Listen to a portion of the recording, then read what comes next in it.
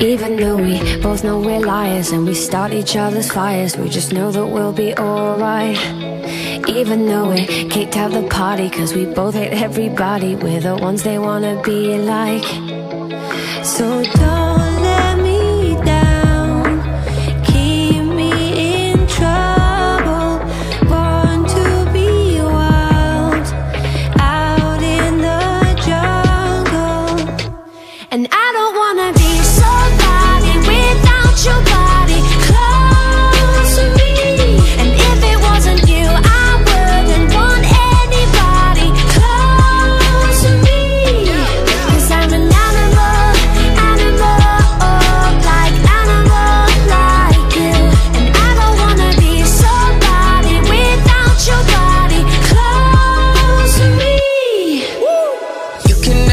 too close for comfort. I had to cut my bitch off, she being stubborn. I make it known I fuck with you, not undercover.